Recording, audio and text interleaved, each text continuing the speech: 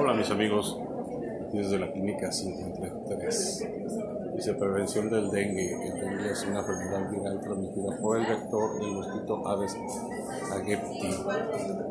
Síntomas: fiebre elevada, dolor de cuerpo, náusea y vómitos, activo detrás de los ojos, hemorrágico, presencia de sangrado por la nariz, encías, oídos, ojos y en heces, así como en moretones y sin razón.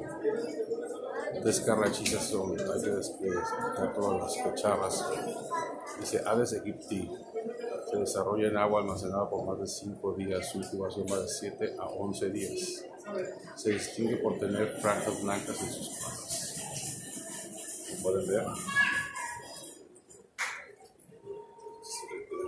Vamos a hablar del virus del Zika. Ojos rojos, conjuntivitis, dolor de cabeza, dolor muscular, afta, fiebre baja, dolor de espalda, sensibilidad a la luz, picazón, dolor en articulaciones. El chikungunya, dolores intensos, articulaciones, dolor muscular, manchas rojas, dolor de cabeza, conjuntivitis y pérdida de peso. No te automediques. Acude con tu médico. Prevención. Estas son las acciones que debes de realizar para mantener tu hogar limpio y protegido ayer. Voltea, lava todos los recipientes como botes, baldes, tinas, etc.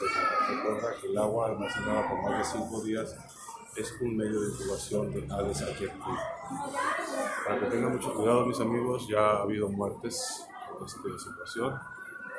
Estamos desde la clínica 53 aquí en Guadalajara, Jalisco, México, en el Seguro Social. Nos vemos. Bye bye.